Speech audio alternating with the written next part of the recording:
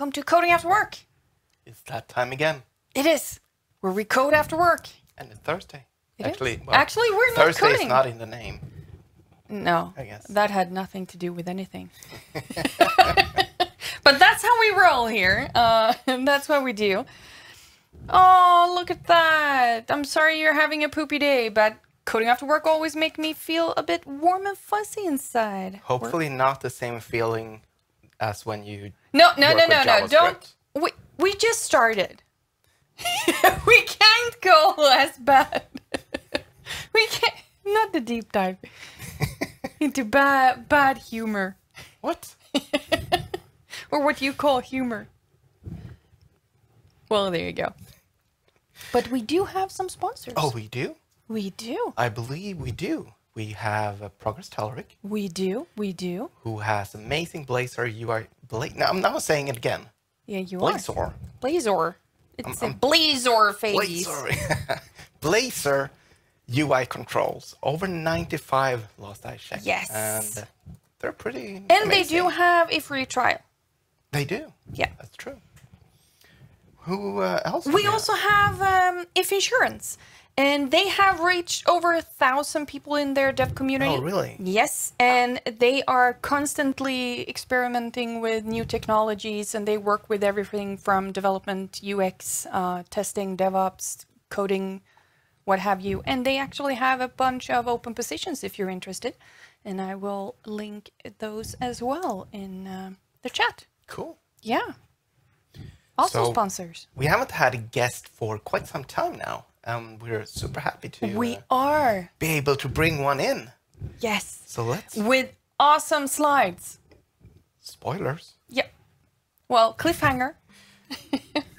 Hi, Steve. Hey Jimmy, Hi. Jessica. How are you? We're doing great. yeah. Yeah. I'm anticipating the uh the slide. Very, very retro Overselling it. today, like your t- like your t-shirt. yeah, yeah. Uh the ones who know, they know. Uh I need a pen. because They- it's they go together. yeah, exactly. So I, I just yesterday uh, was able to add dot .tap files to my ZX Spectrum Oh, emulator, fan, fantastic! Oh, I look forward to seeing that. and it's working. Excellent. I was so happy. And when I got home, uh, when he he uh, did that, and I got home, and he was playing uh, a song from Back to the Future, the musical. It Oh, cool. works. It's called It Works. So yeah. It's true. Oh, love it. Love it. Oh, great cassette solution, Jessica. Yes, that's how I roll. And look at that. Hey, it's Mr. Collins. Oh, hello, Tyndall. Very Hello. long ago I saw you, Steve, like Tuesday. He, he comes to to our, our Milton Keynes meetup on Tu- on uh, Tuesday. It was on Tuesday. we Um, had Jon Skeet there. So uh, Ah, right. oh yeah, he asks if you actually stole them. No, No, I he has didn't. uh, no, I didn't. awesome. Th- th- These Oh, were there we go. hard, hard graft. yeah. Should we share them because we've spoken about them? I think it's time. I've hyped them. You have, but I think they will hold on. I think so too, especially if you're into retro. So, so with Jimmy's Spectrum emulator, I felt I did have to have some specky slides in it, and the Spectrum a bit later. uh, So, so stay tuned. So, Look at that. How? What's not to love? oh, I have no wait idea. for it. You're, you're, let, let's let, let's get the Spectrum loading. oh, Oh, look at that, and it does load like that. And yay for the specky font! it is insane It's like the how they Spec- made I, I had to things speed this up because otherwise we'd be here for about twenty minutes. Otherwise, I, I I was just about to say, isn't that going a little bit fast? that, that, that, that, that was sped, sped up about five times in Camtasia. but but let, let, let's is- bring it smack bang up to date. No, nice high resolution now. Nice. So and and I don't I don't understand how people develop games for the platforms available, like the Spectrum, for instance. There's no memory to speak of. No. There's no disk. There's no. Well, you need to have a lot of time Debugging oh, yeah. something that takes four or five minutes to load? Start the debugger. Even with microdrives. Yeah. No, no, that's not for me. right. Okay. Let's oh, get. we have a solution. It's tears and alcohol. Well, oh, there you have it. I, I- I- was too, I was- 48K I was too young memory. for that when I was writing for the Spectrum. Oh, chocolate can also works. Chocolate usually Cheers, works yeah. as well. Yeah, for, for me yeah. in Visual Studio, that's the thing. Right. Okay. This could be a while. Let, let, let's go, shall we? Okay. So, as you've already gathered, I'm Steve Collins, but because that's such a common name around the globe, I go by the alias of Steve Talks Code. So, if you see Steve Talks Code, that's me. Um, I'm based in West Sussex in the UK, so right down on the south coast. I'm about 20 miles away from Brighton on the south coast. Um, I blog at stevetalkscode.co.uk and I tweet at Steve Talks Code. Get a sort of theme going here. Um, as we've just alluded to, as, as uh, Thindle's pointed out, um, I run the Milton Keynes Dot user group, which is a bit of a stretch given it's two and a half hours drive away. So that's but that's the joy of lockdown. I, I can be that far away and I run it all virtually. So we're going to be sort of virtual certainly through to the end of the year. We've got lots of great speakers. So um, there's the meetup link there. Please feel come along to join us. So I've got quite a few links in in this talk today. So rather than having to sort of take screen grabs and write down bits of paper, there's a Bitly link there and a QR code. So I'll go on to the next slide and leave that there for for a sec. But the the Bitly link is at the top of the slides. I'm hold on. Is it that way or that way? I'm just I, no, it's over there. it? um, it's so difficult. hold on. i yeah, I'm putting it in the right direction. Yay! Over, up, at the top. There. So today I'm going to talk about source code generation, but warning: if you come for a real deep, in-depth talk about how to code them all, wrong talk. Um, people like Stefan Pölz. Um, I'm just trying to think. There's, there's a few, few others. It will come back to me in a minute. But there's lots of other people who do real in-depth talks. This is just a fun retro talk because I'm very old and I like to get geeky about retro computing. So this is a 30-year talk, of source code generation, but we come smack bang up today with .NET 5, .NET 6 source code generators. Then we start to have a look into the future with AI. We're going back to the future. nice.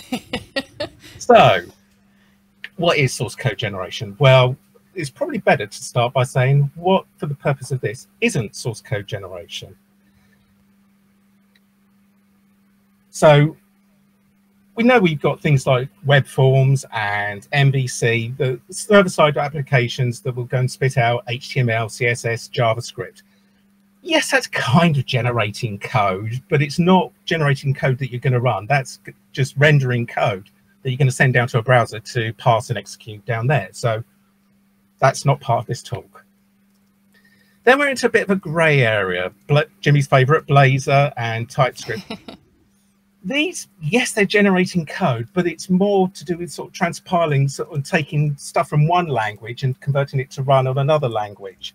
So sort of TypeScript's taking TypeScript and then converting it into JavaScript. So yes, it is code generation of a sort, but again, I'm not talking about that.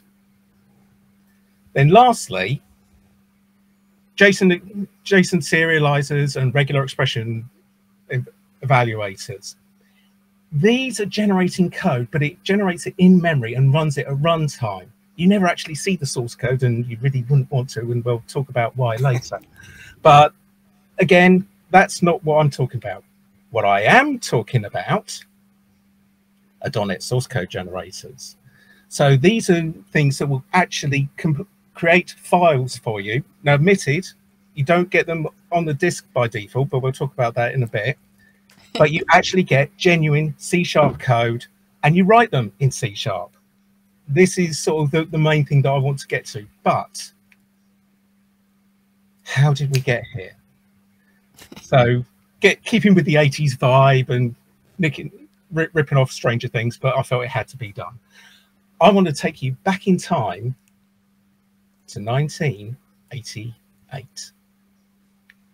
And as we've alluded to, back in 1988, I was writing on one of, one, one of those things, one of those things. The Sinclair ZX Spectrum, very close to my heart as it is is for Jimmy. yeah. I'm smiling from ear ear to ear. Yeah. Love it. So to give this some context, why am I talking about the Spectrum in the talk about source code generators? So long before we had GitHub and the various online things where you could go and look at other people's code. In fact, this was before we even had the World Wide Web. If you wanted to sort of share code with other people, other than sticking it on a cassette and stick it in the mail, if you wanted to share to a wide audience, you needed to get your program published in a magazine. Now, I've got a selection of ones in the U we had in the UK. Did, did you have a very wide selection in Sweden? Uh, we had those, oh. um, at least some of them. Uh, I, I was actually I, I, was seven years old in '85 when I got my first computer, so I I, I borrowed my brother's uh, uh magazines.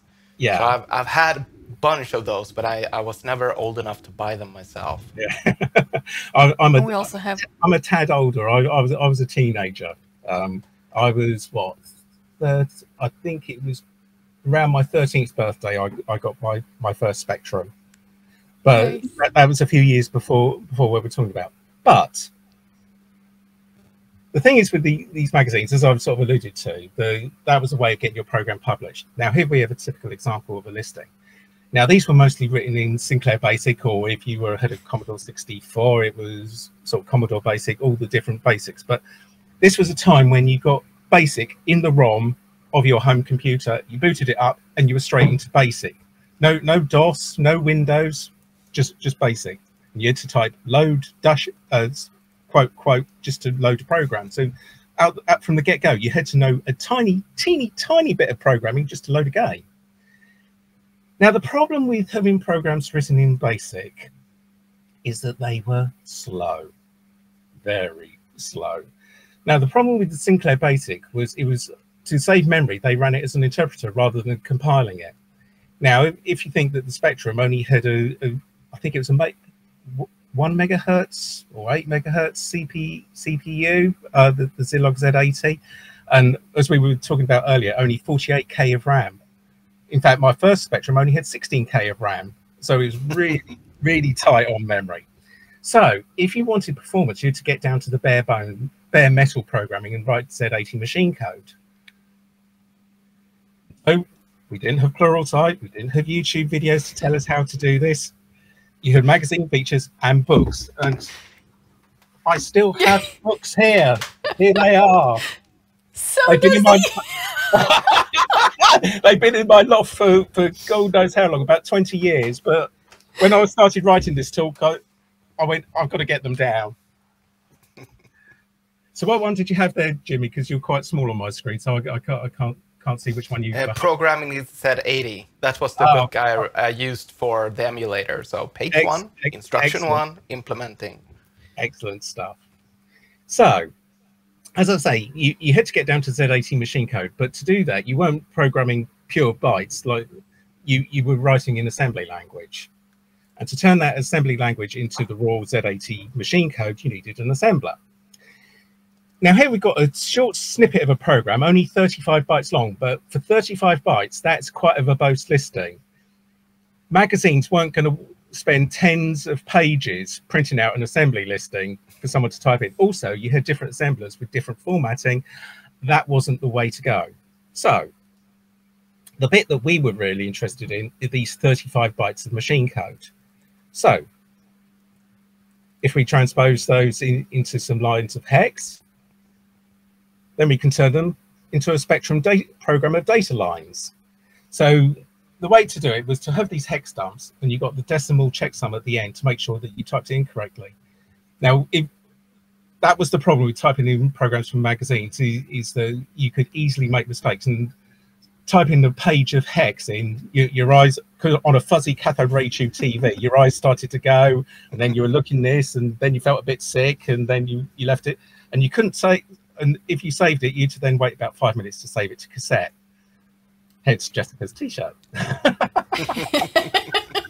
this is actually from Microsoft Build, I think. Oh! No, Ignite. Oh, Microsoft Ignite. Yeah. Um, but how do we create these lines of data?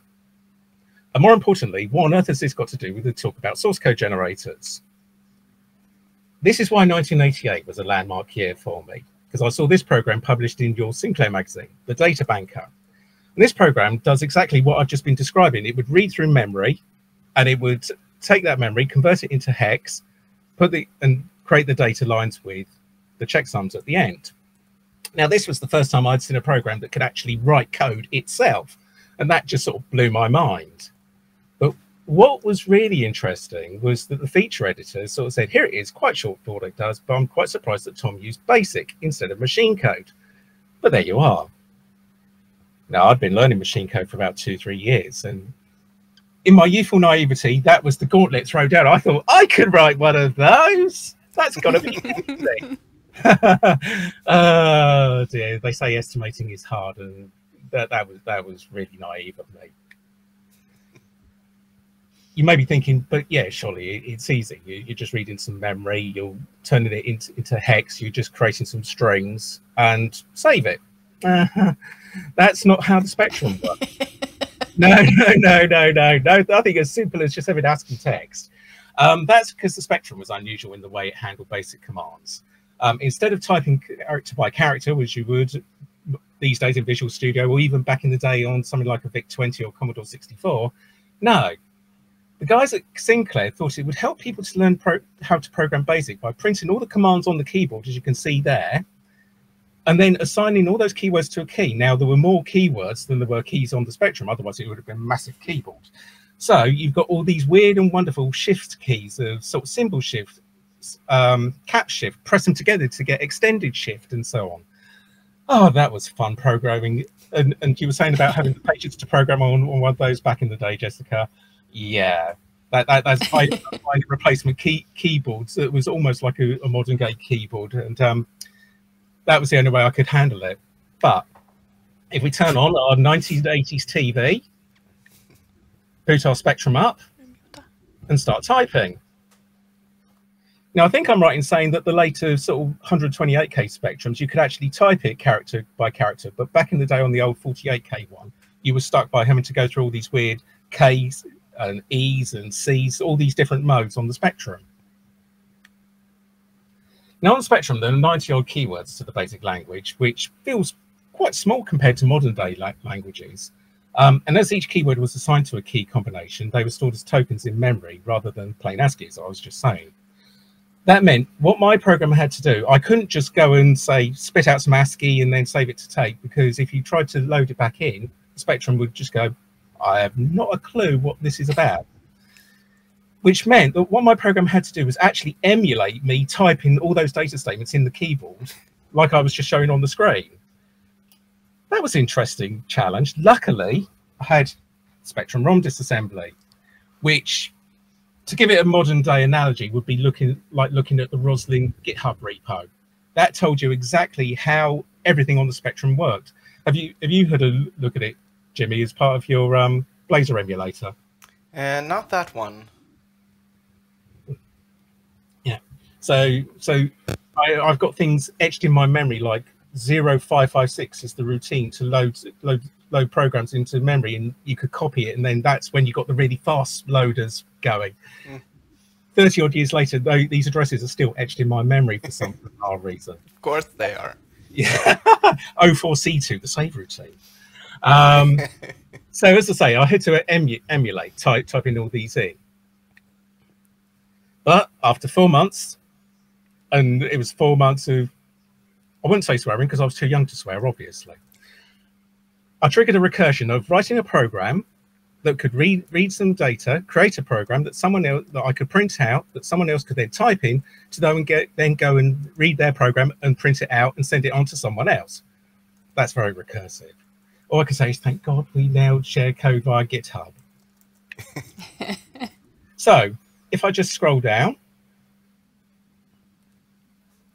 uh, that's my, my program itself, or, or dog fooded. If I zoom it, zoom in, zoom out, zoom out. You can see that at the top there's the hex loader, and then below is the program itself. that we run, load it into memory, and then you could save it out as machine code and then run it to read your own program. Very meta. So I wrote this nice covering letter, and a cassette tape went in the mail.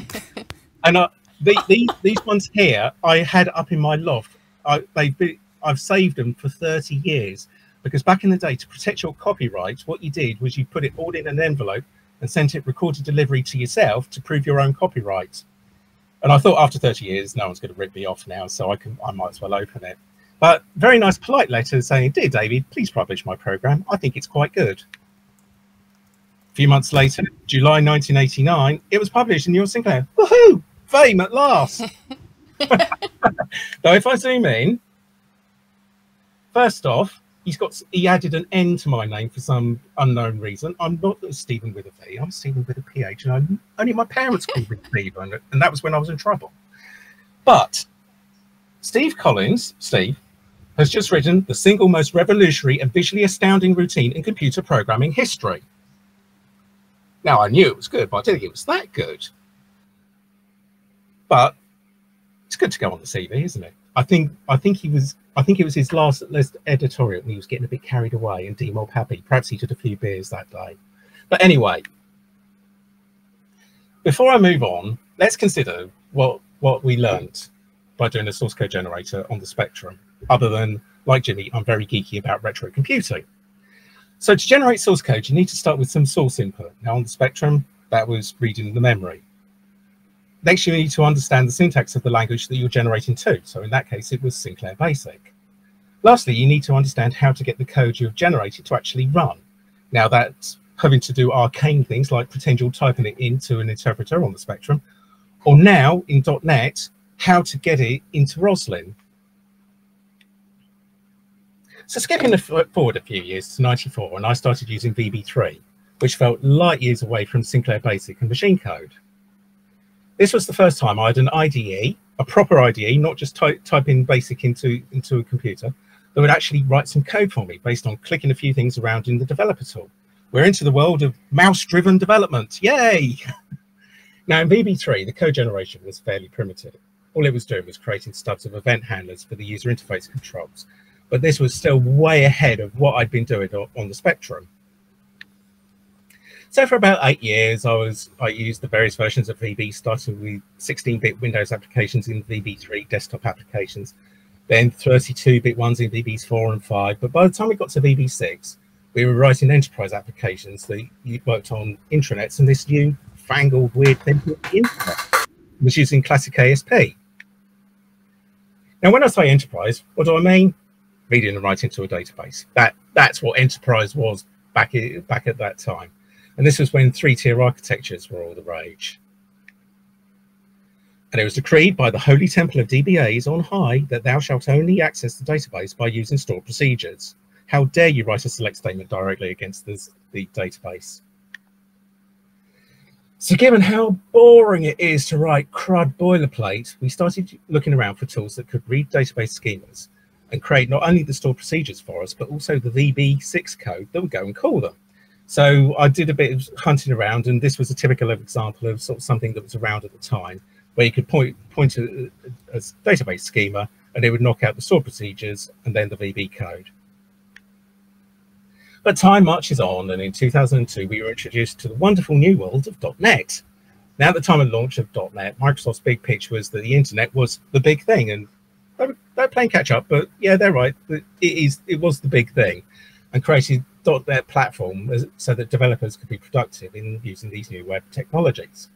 Hence .NET as the name, because you know it's all about the net. Later, we're still stuck with it. I think think there's been a, a, on the 20th birthday. I think there were a few um, conversations about why are we still calling it .NET, but there you go. So at this time, this sent Microsoft into overdrive, talking about XML web services using SOAP. Did you did you both start start with soap, or were you a bit later? Uh, oh, I, I used soap. Yeah, still do in some cases. Oh, oh, oh I feel oh, you. He doesn't mean in the shower. Ooh, You're doing the pun. I know. What's up with I'm sorry. I don't know what came over me. I mean, Oh, it is a restroom after all. Yeah. oh dear, oh dear. Oh, we have more of them. Don't you worry. Um, so when .NET 1, 1 came out, uh, we were writing web services using ASMX files. Later on, when we got to .NET 3, 5, we started doing WCF. Um, so we, we could also consume services from other people that could be written in Java. yeah, we're .NET people. We don't talk about Java. Um, it didn't matter. It got applications to talk to one another over HTTP, which was way better than the horrors of like, things like DCOM and Corba, all these real proprietary. Oh, oh, that uh, sends a shiver down my back thinking about having to write that stuff all over again. But moving swiftly on, much like working with stored procedures for database access, you need a lot of boilerplate code to work with web services because you need to do all the stuff about creating the connection, what happens if the connection fails, understanding how what method to call, how you create your XML to send. It, it, it was a ton of code. And luckily, we got a wizard in Visual Studio when it first came out to generate that code for us. And then when WCF came along, we got a command line tool as well. So with the wizard, you pointed at a WSDL definition, which for, for those who haven't had the joys of working with SOAP, it's a bit like a Swagger file that we get in modern H, um, HTTP JSON. I, I never want to say REST because it always feels impure to say REST about it. it's not truly RESTful, but but Yeah. I'll go with the flow. Pointing at your REST service, you get get a Swagger file. Wi- WSDL was a similar thing back in the day for, for SOAP. So in the wizard, you make a few choices about what to generate, what language you were targeting, C sharp, VB, what your namespace is. And after a while, you got some code. Now, the problem with the code generated was that if you edited the file and needed to run the wizard again, it was bye-bye to your changes because even though that warning was there saying this will be lost, lots of people, myself included, made changes to that file and then cried when we had to regenerate it and all your changes had been lost. And this was back in the day when we were still using SourceSafe and source control. So trying to go back was painful to say the least. The other problem with it, with the code was, was because it was effectively immutable, and you, you, if you went tried to make those changes, you, they'd be lost. What you needed was you see some event hooks. Now, in the original version, these were events that you'd wire up event handlers to um, to do your customization, but that changed a bit later, and I'll come on to that in a minute. Lastly, as the tools were closed source, because Microsoft hadn't jumped on the open source bandwagon at this stage, you had no control over the quality of the code that was generated, and you might get warnings from things like StyleCop or FXCop saying, no, this doesn't conform to the coding standards, even though it was Microsoft that had written it. But if you look at VS 2022 now, you now get some more service options, and I'll talk about those later. But what we do see is we start to see the introduction of this generated code attribute. And what that does is it tells the compiler and analyzers like the Roslyn analyzers or ReSharper if you're using that, that this is auto-generated code, so you can ignore checking it for sort of coding standards. And also if you're doing code coverage tools, you can set it to say, I'm not interested in covering this code because I didn't actually write it. So if we go back to our three rules of source code generation that I started with a bit earlier, we need to add three more boxes to, to our things to consider when generating code. The code we generate needs to be high quality and decorated as being auto-generated so we don't get analyzers moaning at us. When created, it's effectively immutable. So if we generate it again, any changes that we make to the files that get generated will get lost. Because of that, we need to provide some points where we'll call out to developers' own code for customization. Now, we've already addressed the first of those about the um, generated code attribute, but the last two have had an influence on the C-sharp language itself, and that is simply to support source code generation. So in C-sharp 2, we got the partial keyword that was introduced so that a class could be split into multiple files. Now, the primary thing was, was back in the day of this was win forms and web forms where you had the designer file and you had your custom code file as well. this split meant that the code generator didn't need to worry about identifying which bits of the file were generated and which bits had been manually created because I think in it was either WinForms or WebForms, the first one, it sort of had regions and it sort of said, don't change this region, but you can edit this region.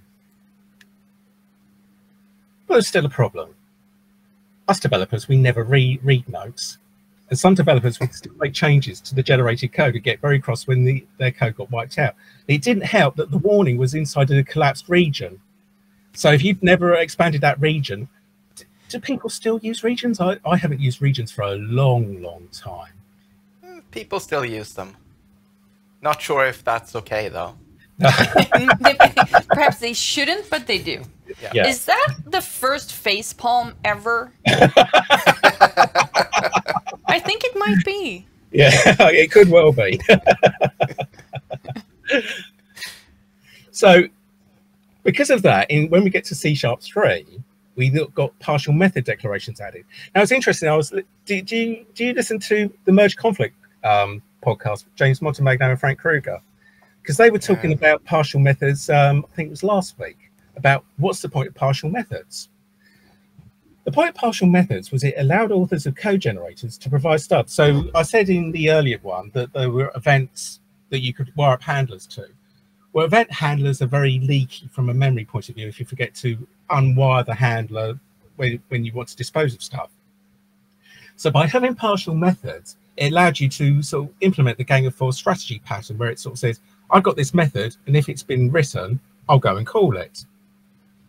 Now, with those methods, if someone doesn't provide an implementation, it would be a no operation thing when the compiler comes along. Now, because there's the risk of a no operation, you don't want to be able to have people have a dependency on that method. So some rules were put in place. Firstly, you couldn't have a return value. So they had to be void and they had to have no out parameters.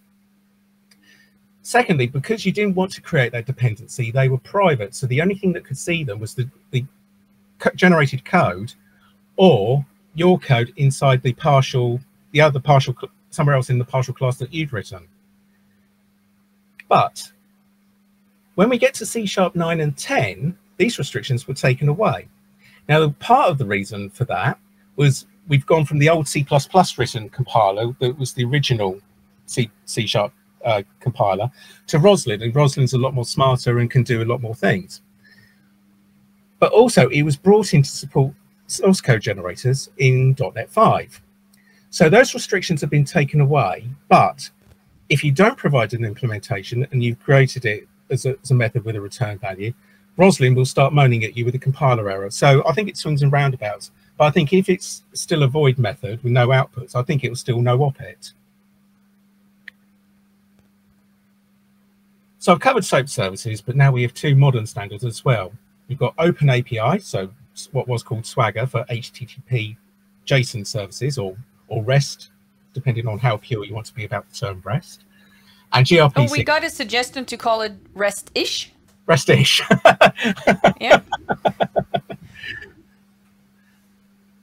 And we've also got gRPC, which is the new kid on the block. There's a bit like a binary equivalent to it. I'm, I know several people who do really good talks on G gRPC, but um, I'm not going to go into much detail on this. But the difference being that whereas on H on REST-ish services, you get the Swagger file.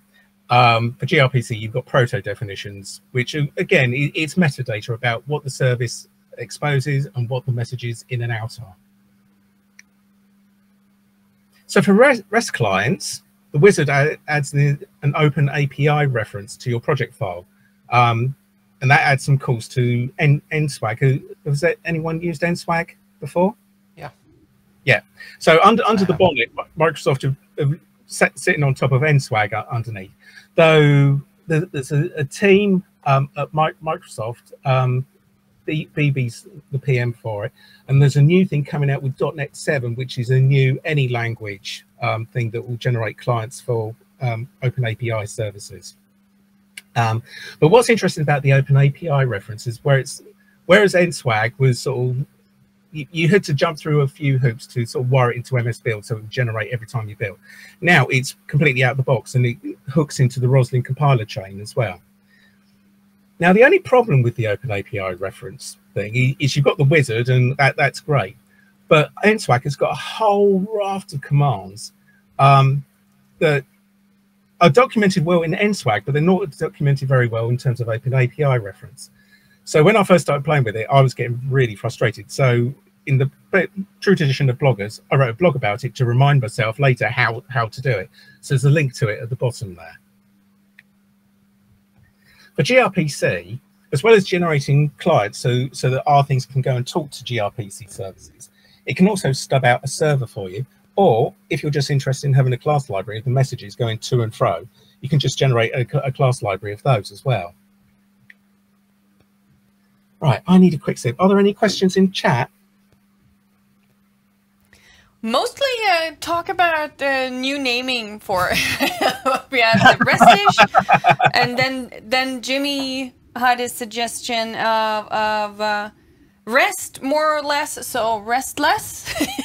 so it became a. Uh, well, we do have one. Can I generate a proto file from a class? Oh, the other way around. Interesting. You you so with with the built-in tools you generate a, generate classes from the proto files. But I'm sure is it I think it is it Marc Gravell has a has a tool that can reverse engineer classes into a proto file. I'd, I'd have to go and look that up, but that that kind of rings bells that Marc Gravell did did something as part of his gRPC suite. Cool. Any other questions? Not regarding to this, I believe. Why am I not getting power on my computer? Which is a completely different... Uh, charging. Yeah, but it just went down in, in super saving mode. Well, okay. so, I may or may not be thrown out of chat room, so there you go.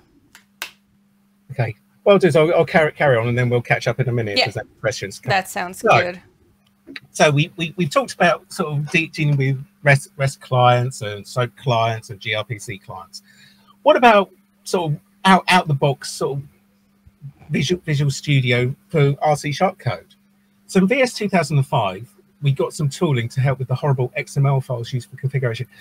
When .NET came along, Microsoft loved XML, XML everything, app settings, resx files, everything was XML. Thank heavens we've now got JSON and well, and YARP, um, not YARP, um, YAML. Is it debatable whether YAML, JSON are better than SOAP? Certainly JSON is. YAML, there's absolutely nothing worse than YAML. well, according to you. Other than XML. That's according to you. I prefer XML. I gotta say. I gotta take that stand. Uh, and it's a hill you'll die on. exactly. um, but for, for those, and, and it's st still there in, in, in, .NET Framework world, we've got app set, app.config on web.config and these massive, great big XML files, and then these um, key value pairs of application settings and user settings. And before 2005, having to use the configuration manager and the resource manager to navigate those XML files was horrendous. So what Microsoft did with VS 2005, they, they gave us some designer tools that could go and create these settings.settings file and the property resources files. What these were doing was they gave us a visual tool where you could go and set up your application settings as key value pairs there on the left and say whether they're application or user level. You could give them a default value. And what that would do was that would go and add that to your app, app config or web config as appropriate. And it would also go and create this static class called settings or, or the re, or the resources under properties. That's great, but if, if, you're a fan of clean code, it's not very solid. it, it, it's static and it's glitchy and it's a bit horrible, but it was better than having to navigate the XML yourself. So you, you, you make it takes your choices on that. Now that was based on custom code generation tools. Now you could go and write your own one of those. But that picture there, that was kind of my reaction when I looked into it. because Visual Studio, and even now with 64-bit VS 2022, there's still an awful lot based on COM that was carried forward from the VB editor and the C++ editors. So I'm going to skip over that because it was just so horrendous you didn't want to touch it with a barge pole. But we talked earlier about the things generating CRUD store procedures and VB6 code for you.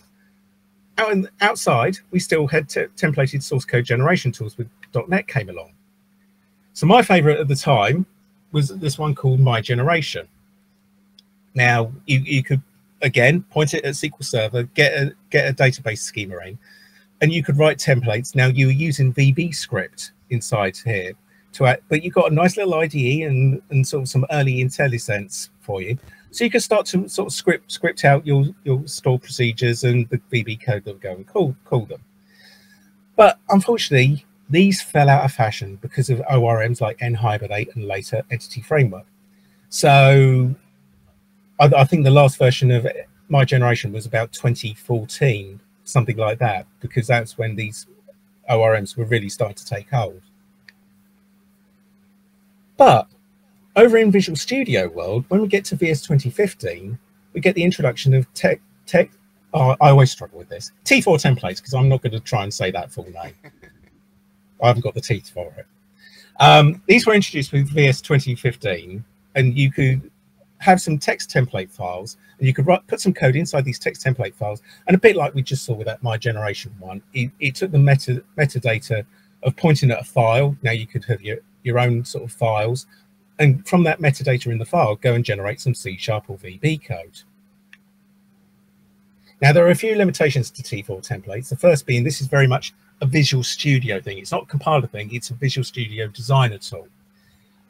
Early on, it was limited to Visual Studio, but I think later versions of Rider now support it. Um, but the main limitation to it is that because it, it's inside Visual Studio. Visual Studio was written based on .NET Framework. The code you write inside is still limited to version to sort of using .NET Framework if you're trying to use anything from, from the CLR. Um, it doesn't support .NET Core, doesn't support .NET 6. That said, in VS 20, it was late 2019 version, and certainly in 2022, whilst the code you write inside is pinned to framework, you can now use them to generate code that you consume inside the .NET Core, .NET 5, .NET 6 projects as well. Now, whilst I said I wasn't going to focus on these, I think it's worth having a mention of some of the techniques that we've all been using over the last few years. Reflection. Going back to when .NET first came out, these we were first introduced to reflection. Now, back, back in sort of VB days, we didn't have reflection, and I was crying out for something where I want to go, I want to go and look at this this object and I don't know how to do it. But we got that in .NET, .NET when that came out. So it gave us a way to inspect methods and properties on top on a type and even call methods at runtime.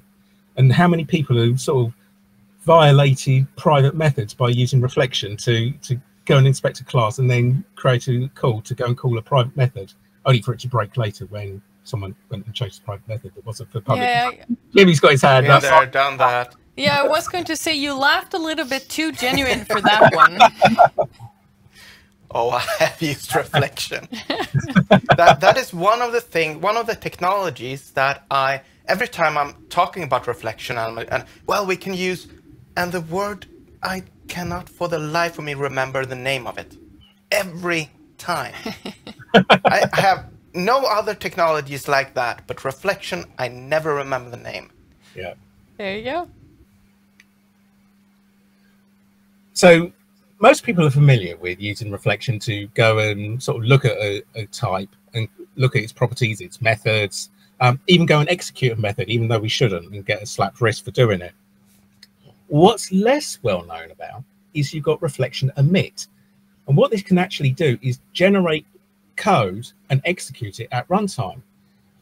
Now, this is partly why when Xamarin came along, reflection didn't work on things like iOS devices because Apple said, uh-uh, you, you're not generating code, code on the fly at runtime. But this is qu quite heavily used in some parts of the .NET framework.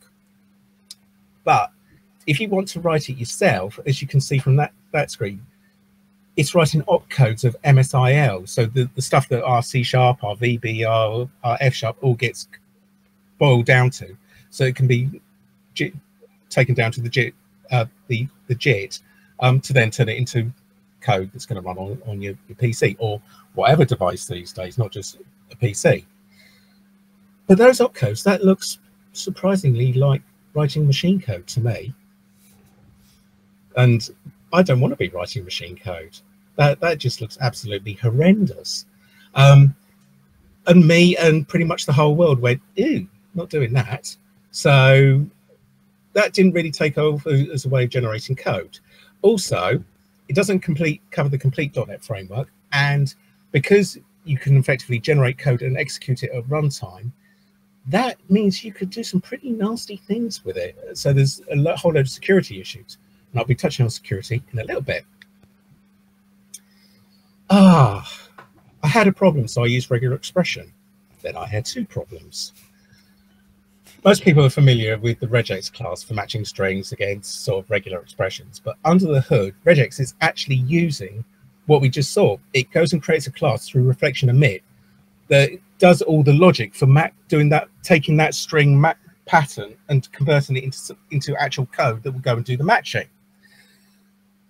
The problem is that by default, if you say, I've got a new regular expression, it goes and use up one of these classes and it's constantly doing that all the time. So the performance isn't that great.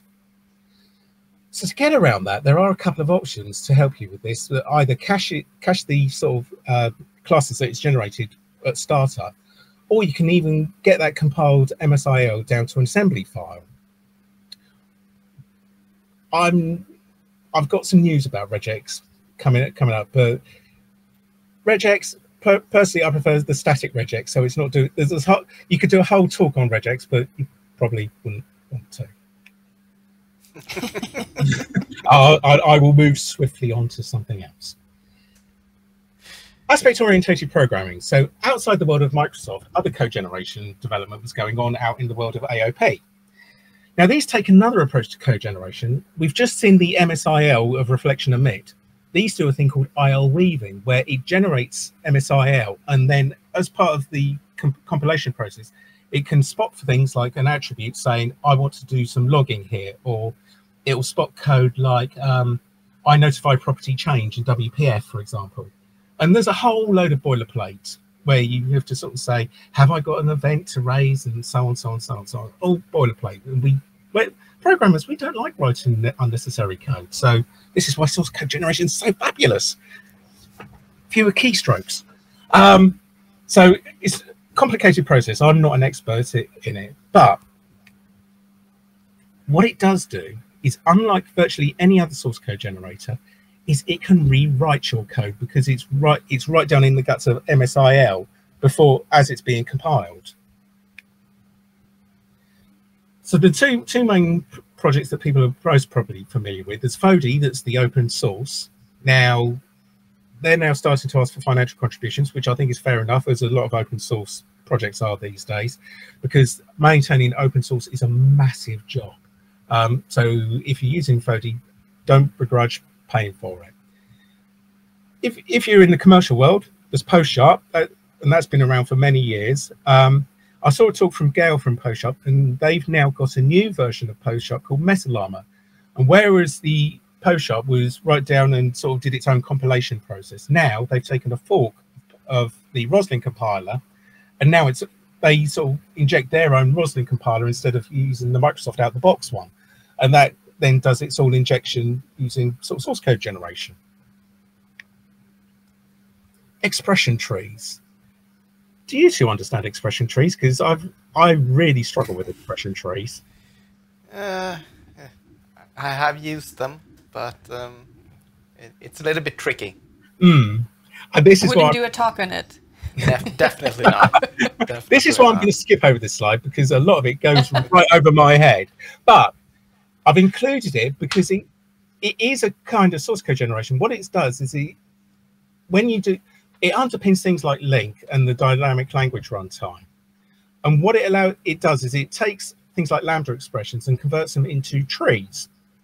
And from those trees, you can then convert to other languages. So the one that most people uh, are, be, are going to be familiar with is Entity Framework, where it'll take your query queries from LINQ and then turn them into SQL. That is using expression trees under the bonnet. Talking of Entity Framework, Entity Framework is a complete ragbag of just about everything we've talked about so far. So we've got inspection of SQL metadata, so it can read a database schema and go and cre create classes for you, so database first design. Conversely, you can, it can take your C-sharp classes and generate a database schema. You've got expression trees underneath that will take your LINQ queries and turn them into SQL statements. And then at the end, you've got reflection to bind the stuff coming back from your database back into your .NET objects. But I just want to generate some code. I've just spent, what, what is it, um, about 40 minutes talking about all these all these weird and wonderful ways we've done so, and everything you run up against a brick wall of a problem. Either they're too complex to understand, they they do stuff like writing IL, they they're just plain complex to use. Um, some are external tools outside Visual Studio, some are running only inside Visual Studio. Um, some are limited to .NET Framework, some are only have a subset of support for .NET Core and .NET 6. And some are closed source. So if you don't like them, tough. There's not a lot you can make do about it. And at that point, it's time for me to have a sip. Are, are there any questions now? Uh, we do have a, uh, a message, a picture that I'm a going picture. to show now. Yay! this is from Tyndall. oh, Eric. Eric, yes. Yep, Eric. We've had before about our love of the spectrum. right. Yeah, he's, he's I've just got my voice back. So we get to November 2020 and C Sharp 9 and .NET 5, A New Hope and the introduction of .NET source code generators. Now, I know that .NET 5 has just gone out of support, but this is a massive landmark in source, code generation. So with the release of .NET 5 and C Sharp 9, we were introduced to source code generators on C Sharp. Now, technically, some people call them .NET source code generators, some people call them C Sharp source code generators. Really, this is a bit of nose that misnomer because really it's all about Roslyn. Roslyn has made this fe feature available it just so happens that it got released with .NET 5 and changes were made to the C Sharp 9 to allow it to be used in, in sort of anger. So how do these differ from what I've talked about so far?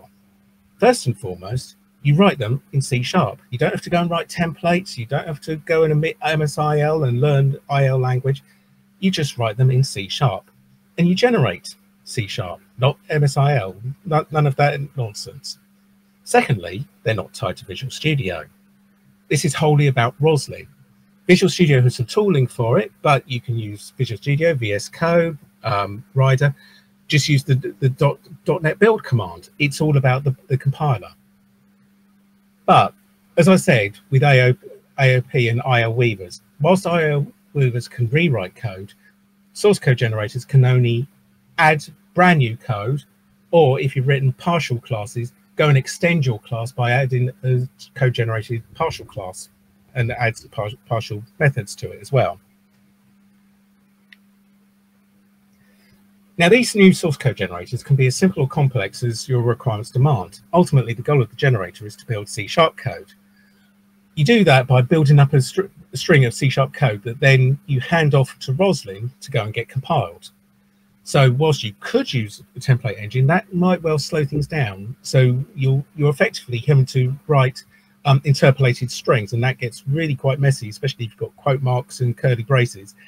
Now, I think it's in C sharp 11 coming up. We've now got these new new ways of having strings where you've got multiple backtick marks where you can yeah. say, um, I'm, I'm going to have backticks and everything inside here. If I've got quote marks and curly braces and everything, that's verbatim. So that I'm looking raw forward to string uh, something. Raw, yeah, raw, yeah. raw strings. That, that I'm so looking forward to that because because when writing um, both source code generators and the unit test for source code generators, it gets really hairy having to sort of es escape all your quotes and curly braces and backslashes. Um, but uh, but but that I'm I, I digress.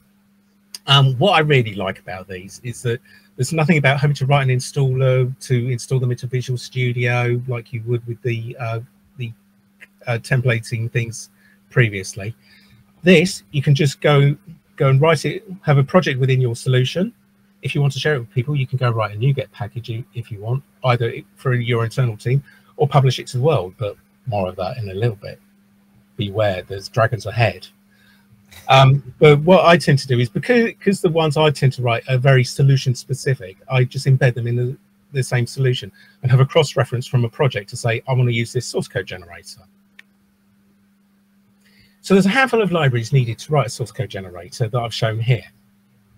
The main thing to note is that when you write a source code generator, even though they're only supported in .NET 5, .NET 6, you have to write them as a sta .NET Standard 2 library reason for that is because they're as well as running inside Roslyn, they, they're sort of run by Visual Studio and things like um, Rider as well. But the main driver for this is Visual Studio, is that you ha have to write it in .NET Standard because, and it has to be version two because even with .NET uh, Standard 2.1, Visual Studio starts to sort of get a bit upset with it, and it and it, you just you've just got you just can't handle it. So you have to write it in .NET Standard. I've highlighted um, a thing there about is Roslyn component. Since VS uh, 1610, which was one of the later versions of uh, VS 2019, um, when it when these first came out, they were an absolute nightmare to try and debug. But the, having that in your VS, uh, your CS proj file makes it a bit easier to debug them, and there's now tooling for it built into Visual Studio. Um, same goes for if you're writing Roslyn analyzers. Have, have either of you done anything with Roslyn analyzers before? Actually writing? No. No. no. Yeah. I haven't either, and I, I, I, I, think I, I think they're so powerful, and then I think so complicated. But that's another story. Oh, sorry. Actually, no, I'll cover it on this slide. So, if you're going to go and write a generator, the main things you need to know is you need to put this generator attribute on your class and in .NET 5, you had to implement iSource generator. Now there's a change in .NET 6 that I'll come on to a minute, but I want to talk about source generator to give a feel of, what's involved. So the iSource generator interface has two methods, initialize and execute. So I, I, won't go into a lot of de detail on here because it gets co quite co complicated and I haven't got some code to back it up. But in essence, the initialize method is where you first register your source code generator with the Roslyn compiler.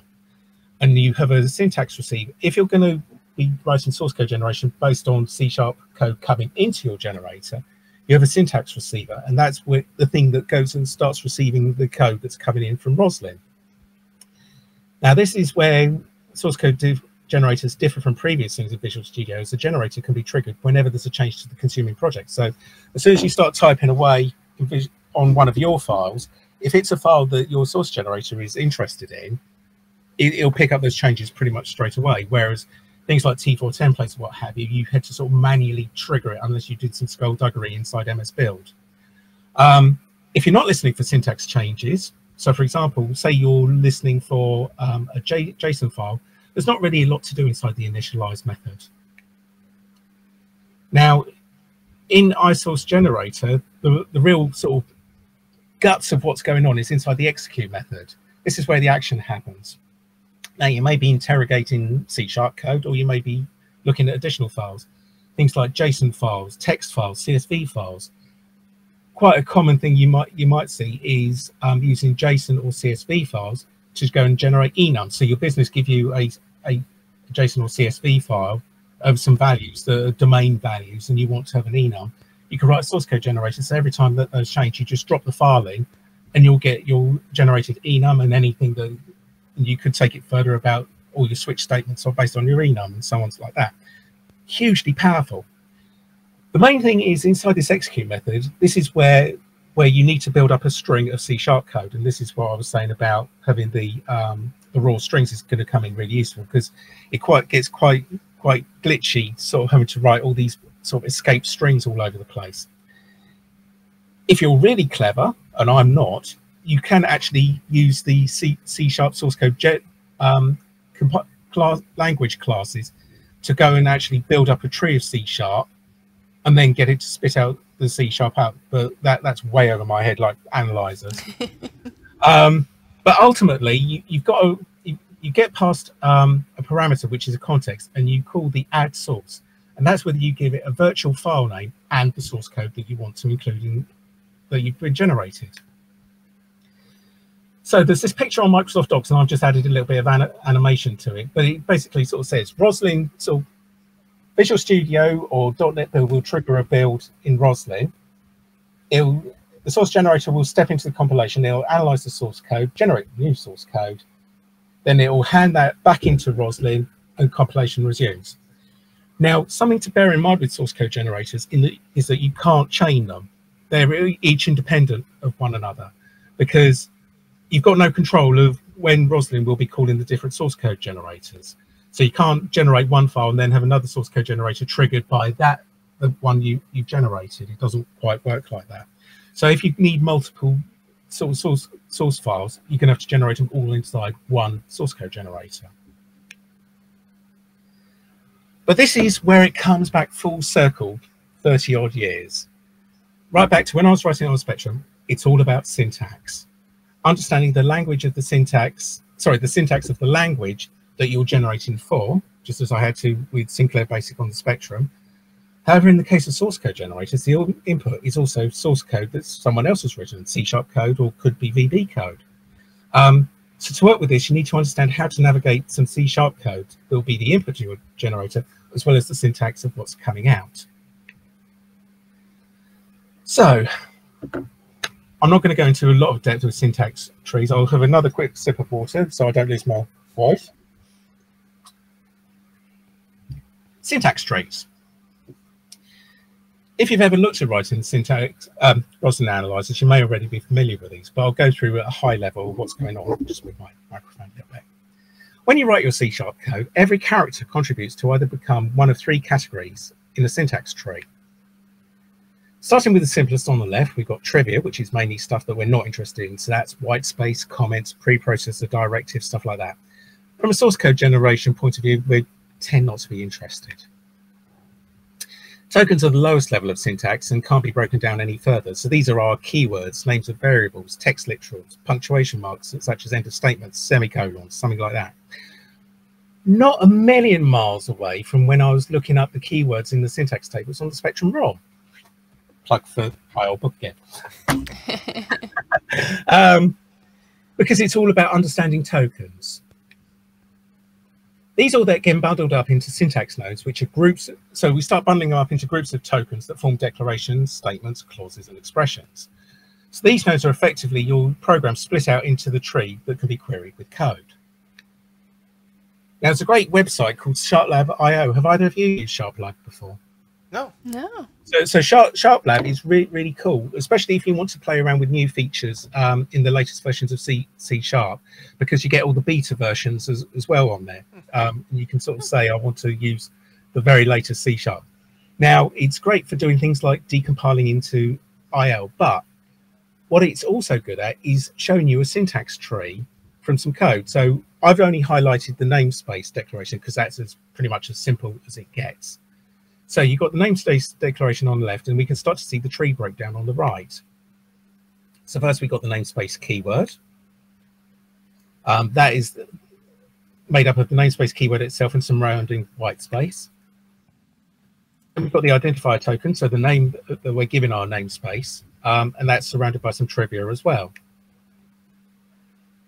If you've got full-on Visual Studio 2019 or 2022 um, on Windows, you can get a directed graph of the syntax tree as, as well if you prefer, but I, I tend to prefer looking at the, the SharpLab version as well.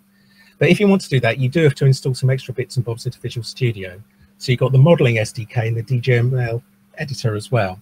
Um, so I sort of flip flip between the two, but I tend to mainly use SharpLab IO for sort of examining the syntax tree.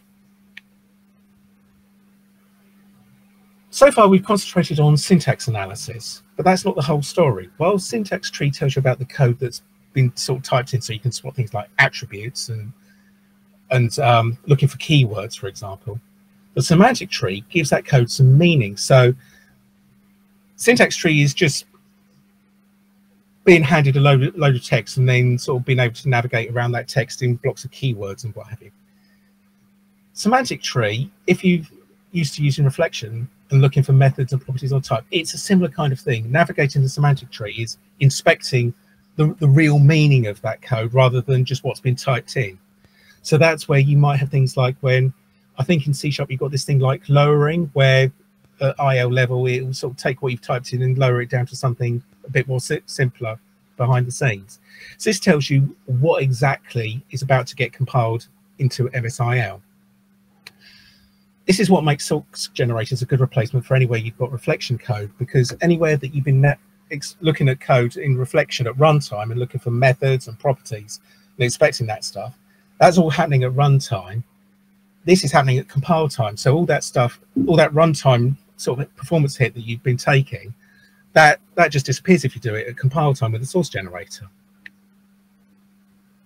As I've alluded to, you can, as well as looking C sharp code, you can take other text files now, JSON, CSV. You could even sort of write your own language, like Dylan Beattie's Rockstar, and have a, have a Rockstar path written as a source generator to turn it into C sharp if you were of such a mind to, I guess. Um, but yeah, you, you could potentially have your own domain specific language um, and write a D DSL parser that turns it into C sharp if you if you really had such a large domain that it felt necessary for it. So to summarize, why are source code generators great compared with what's gone before? Because they are. I think I'll leave it at that. no, I mean the, the main thing the main thing for me is you're not tied to Visual Studio or you're not tied to external tools or internal tools. Um, you're not tied to it being breaking the Visual Studio changes. It's all about Roslyn. But the main thing is that because it's all done by the Roslyn compiler, you'll build you'll build on if you've got a build engine sitting on um, a CI CD pipeline, those will go and generate it as it compiles it on on your CI pipeline as well.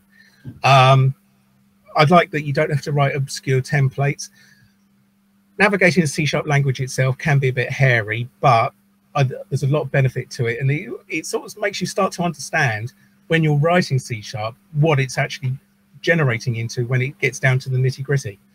Um, and lastly, with the improvements made to Visual Studio 2019 22, 22 support source code generators, you can actually see the source code that it generates and get IntelliSense on that generated code. like some source code generators, there are some limitations, and I've sort of touched on them in the you to write it as .NET Standard 2.0. The main thing is a real big no-no. Do not do this. Is make calls to a database or HTTP calls, because do you really want that happening every time you press a key on your keyboard in Visual Studio? You don't want to be doing that. No. Um, there, there are some things where if, if, if you really need need to to do something like that. Have have some tool that's going to go and pull it down into a JSON file that comes into your your project. So so have some external step that's going to take that external thing, like I don't know, getting a Swagger file. Go go and pull the Swagger the Swagger JSON or Swagger YAML file down, and then source code generate from it. Don't do it on the fly live on a on an IO. Um, at the moment, it can only generate C sharp or VB. There's no F sharp support, and there is an open issue on GitHub for Roslyn to say, and this is something that I would really love it to be able to do is say, I wanted to generate a JSON file, a text file, a CSV file, but that's not there at the moment. Debugging. I need a big sip of water for this one. Any questions before I jump into debugging? I think we had uh, one question. Let's see. Uh, so it's about about the SharpLab is it yeah, uh, running the, website the parsing? And, yeah. and is it running the parsing? Oh, awesome. Yeah, so so I I I, I suspect it's actually going back and doing something back back on a server.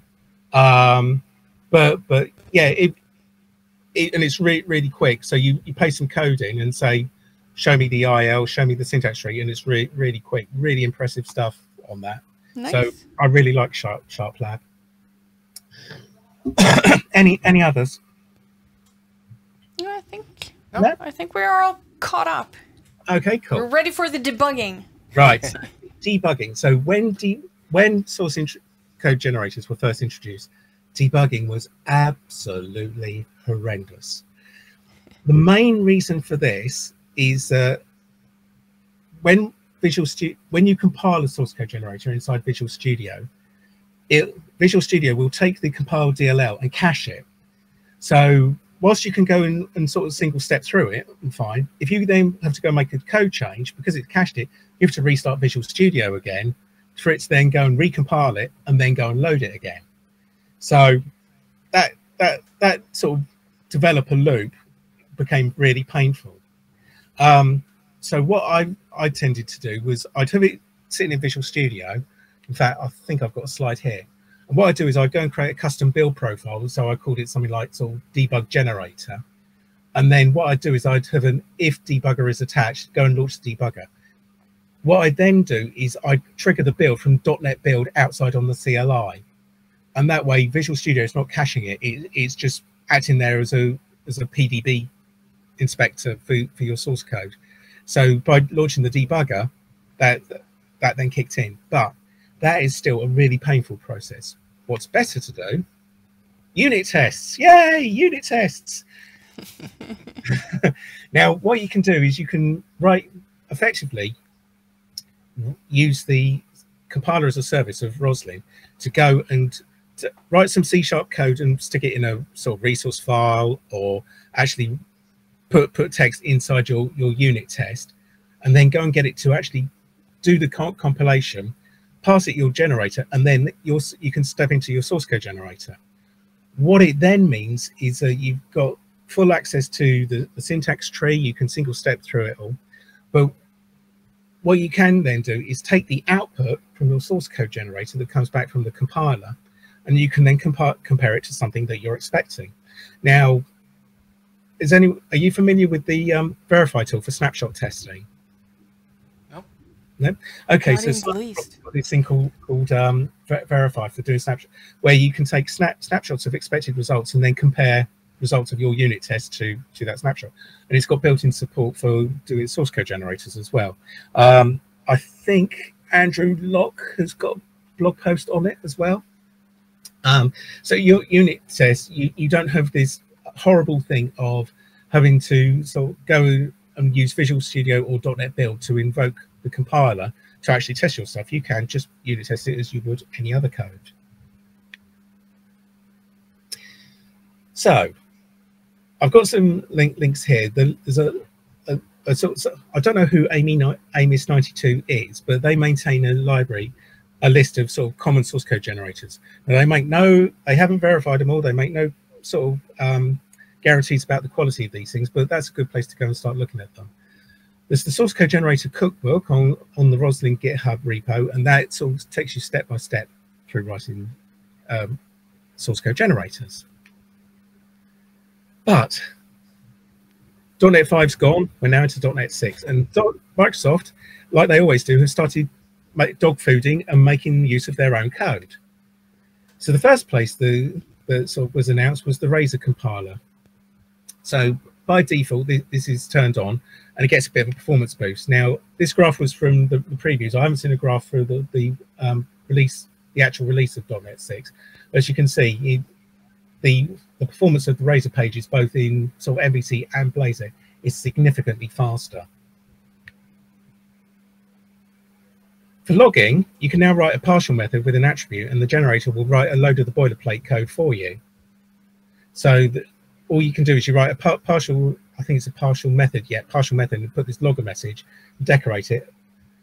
So I've got an example example there. So you've got logger message, event ID, level, and message.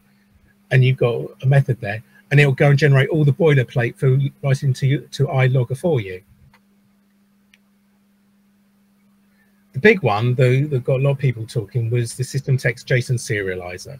Now, as I alluded to right back at the start with things like Newtonsoft JSON and the original version of the system text JSON serializer, this was all using reflection un underneath and doing it all at, all at runtime.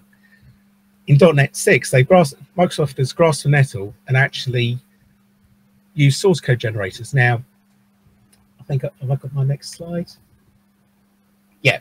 So there's three modes. You can use the existing reflection-based model, or you can tell it just to generate the serialization logic, or you can just get it to generate the models that stuff will get um, deserialized into.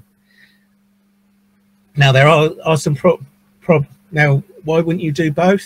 There's some problems with the deserialization if you're you're doing async sorry with serialization if you're doing it in an async method. Um, so you can't use gen, gen, code generated serialization when you're inside an async, but you might still want to pre-generate the data access model that you deserialize into. Now, one of the problems with the .NET 5 version of source code generation, and I alluded to it just now, is that every time you do a keystroke, it triggers the Roslyn compiler, and therefore it triggers your source code generation. And one in .NET 5, it was doing the full source code generation process every time you. So if you've got a massive pro project, and this is what Microsoft found with parts of the base class library, the source code generators became really slow and dragged down your whole build process. So .NET 6, is a new version of source code generators that's much better. So we had iSource generator. Now we've got i incremental generator. Now there's only the initial, you do everything inside the initialize method and you don't have an execute method. But I, I like to think of it a bit like middleware in ASP.NET, where you build up a pipeline and say, this is coming in, am I interested in it? Okay, I'm interested in this bit of code, therefore I'll go and trigger my source code generation. If the code hasn't changed because it's already cached it, then it won't trigger the, the, the generator won't bother going through the generation process again because it says, hey, the source hasn't changed, so I'm not going to regenerate. There's some really good good information out there, and, and I'm running sort of tight on time now, so I, I can't go into it. But go and have a look at this website, incremental generators on the Ro Roslyn GitHub repo. That uh, gives you a really good walkthrough of it. What's coming up in .NET 7? There's not a lot been leaked about .NET 7 yet, apart from our friend regular expressions. so I was saying earlier that he was doing some really nasty stuff with reflection emit and IL code and generating stuff on the fly and what have you. So now in .NET 7, regular expressions are source code generated. I was going to show, show some code here, but because .NET 7 is not out for a few months, I don't want to put it up here and then it will be different when it comes out in November. So there's the blog there from Stephen Toub, too. Um, really interesting read about, and they've introduced some new new stuff about backtracking in regular expressions and so on. If you do use regexes, go that that's something really cool coming in .NET 7. But source code with great power comes great responsibility.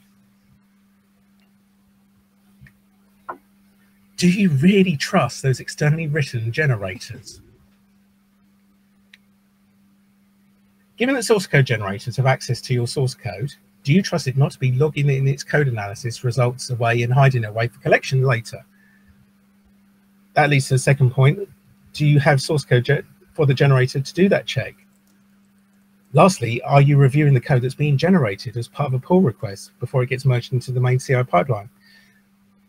This because there, there, was the SolarWinds attack um, last last year, year before, whenever it was, and that that was an attack on the CI/CD pipeline. Source generators are a potential another potential attack vector as well. So there is some nice tooling inside Visual Studio that if you've got a source code generator, if you go to the dependencies and analyzers node, you'll see the source code generator and you can see the, the file that gets generated. There's also some options where by default, the source code doesn't actually land on the file system, but you can say, I want the, the file actually output. So you can capture it inside your source code uh, repository as well on Git. So if that starts to change, as part of a pull request, you can start to go, oh, why, why is this changing? So the due diligence process, if it's open source, you can check the source code, but can you be assured that the source, the NuGet package definitely came from that repository? And I think there's some new stuff that Claire Novotny talked about at NDC London about the, stuff inside NuGet to sort of verify the source of it. Um, if it's a commercial package, well, you won't necessarily have access to the source code. So you're down to trusting the vendor and things like digital signing to make sure it hasn't been tampered with. And if it's been written in-house, I hope you've got a good pull request pull request flow um, to make sure that you can check what's going on. So I'm running out, out of, out of um, voice now, but in what about an hour and 10 minutes, we've covered 33 years of source code generation, but there's still more. Where's source code generation going? Now, I've, I've got teenage boys, and over the past few years, they've been at school using things like Scratch and the BBC Microbit um, on the uh, Microsoft uh, MakeCode portal. I had an idea about this a few years ago for something I was working in a business application, and they then found out the um, MIT were way ahead of the game on this.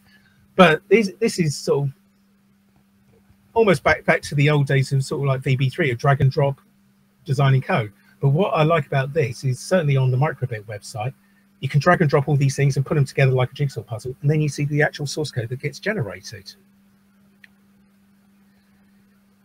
And then GitHub's Copilot and IntelliCode in Visual Studio. I've just recently started a new con contract where I've been given an enterprise license of Visual Studio, and IntelliCode scares me I am starting to type and it, it, it's getting my code ahead of me. I, have, not tried out um, Copilot yet, but it friends who have been using it, it find it really scary how how it's getting ahead. But something struck me with Copilot Copilot is only as good as the source code in a load of GitHub repos that it's analyzed for its AI model. Like with all AI models, is there a bias?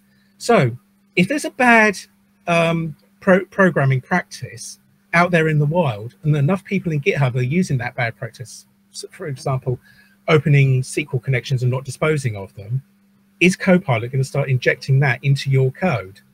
So I'm still a bit wary about. I, I think it's still early enough that whatever code that get the Copilot generates, I wouldn't just rely on it. I'd be scrutinizing it really hard. But you should definitely try it, check it out, and see if it makes yeah. sense. Yeah, yeah and, and, and but you had a very specific yeah. case where so it actually helped. I was working on my Spectrum emulator. That mm -hmm. this was just two days ago or something like that. And depending on, so it, I'm, I'm not going to go into to really technical details, but when you're reading these tape files, you're you're basically sending Eh, pulses of ones and zeros to the um, ear bit yeah. Uh, on the spectrum. And a now I don't remember the the actual values, but a zero bit has a pulse which has eh, a specific amount of T states. Yeah. That it, it takes a specific amount of T states. And the same thing with a one. So there, a one is going to be two pulses with seven Hundred seventy-five uh, T states or something like that. And I'm like, I'm starting to write a bit and it just continues. And so if the bit is true, then emit this. And it had the T states correct. Yeah, the number of T states.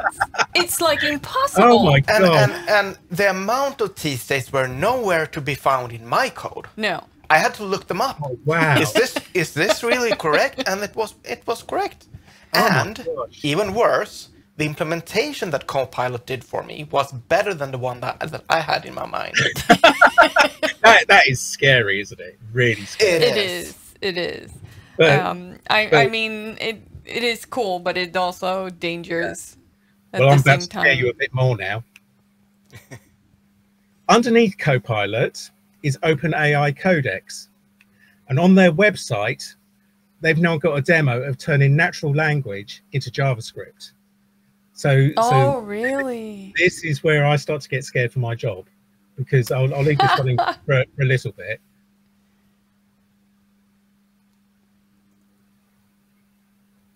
And I've got the link there if, if anyone wants to go off and have, have a look at it because it, it, goes on for about 10 minutes. So I won't, I won't leave this. I've, I've sped this up and I'll just leave it for for a little bit. It, it's the next sort of couple of small-ish.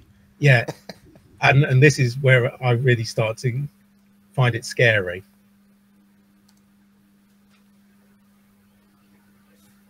That is pretty cool.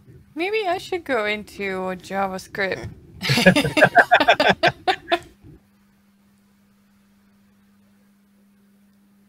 Imagine this, but with CSS.